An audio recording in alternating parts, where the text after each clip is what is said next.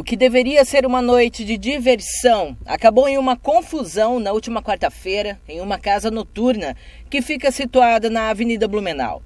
Um grupo de mais de 15 mulheres lésbicas foram impedidas de entrar no local. As mulheres alegam terem sido vítimas de homofobia. Algumas garotas que foram barradas procuraram a TV Sorriso para informar o episódio. Com medo de represálias e mais atitudes preconceituosas, as garotas não quiseram ser identificadas. Uma delas gravou com o celular a conversa com um dos seguranças que disse estar cumprindo ordens do dono. Perguntar, mesmo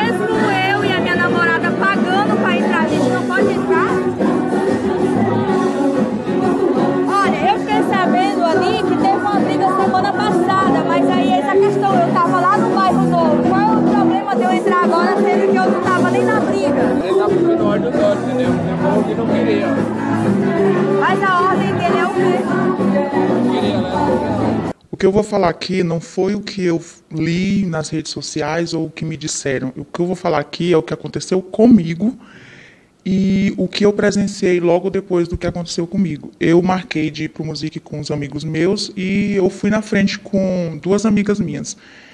Cheguei lá, eu cheguei na frente, elas duas estavam atrás de mim e eu me surpreendi quando o segurança me barrou com a mão dele. Eu perguntei para ele o porquê e ele me disse que foi por causa de uma briga da semana passada que nós não iríamos entrar.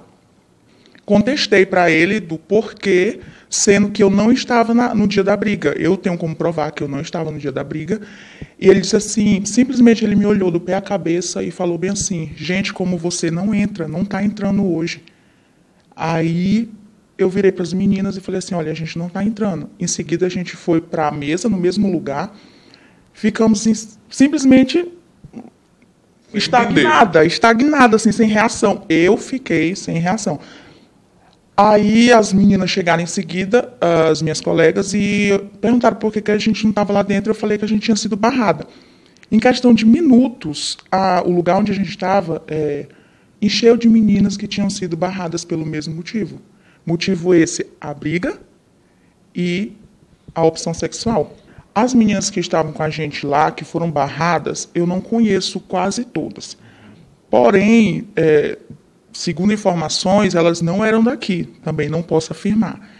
E, mas isso não, não justifica, né? Se duas ou três estavam na, na briga na, no sábado passado, não significa que mais de 15 mulheres foram barradas. E em seguida, a minha colega que estava com roupa feminina, porque eu digo que foi mais pela roupa, é, entrou. E eu simplesmente fiquei bem aborrecida, chateada.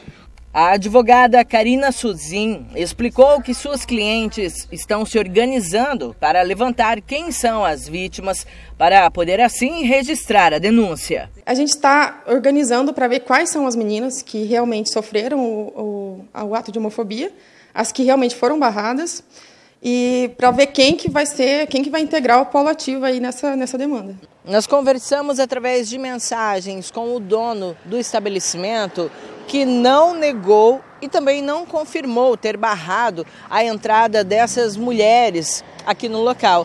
Ele respondeu através de uma nota que foi encaminhada à imprensa que o estabelecimento não compactua com nenhum tipo de preconceito e que a casa está aberta aí a toda a sociedade aqui de Sorriso. Ele ainda encaminhou a nossa reportagem fotos registradas logo após um quebra-quebra que ocorreu no local. É, esse quebra-quebra teria sido registrado aí após uma briga que aconteceu entre homossexuais aqui no local. Olha, na minha opinião, com certeza sim, foi um ato de, de preconceito, porque as pessoas que me barraram são pessoas que não me conhecem, são pessoas que não convivem comigo. Então, o que aconteceu foi um pré-julgamento um preconceito sobre a forma que eu estava vestida. E no momento eles é, procuraram saber de fato a minha opção, eles simplesmente julgaram pela minha aparência. Simplesmente isso que aconteceu. E me barraram por isso.